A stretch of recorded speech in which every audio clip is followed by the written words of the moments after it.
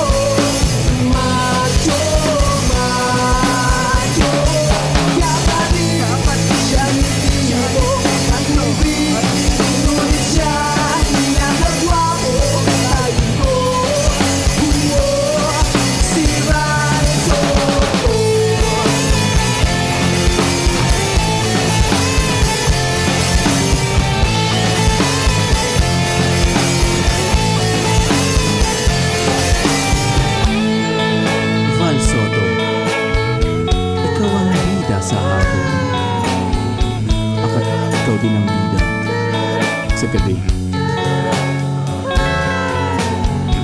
Ikaw ang modelo ng isang tunay na lalaking Pilipino. Magno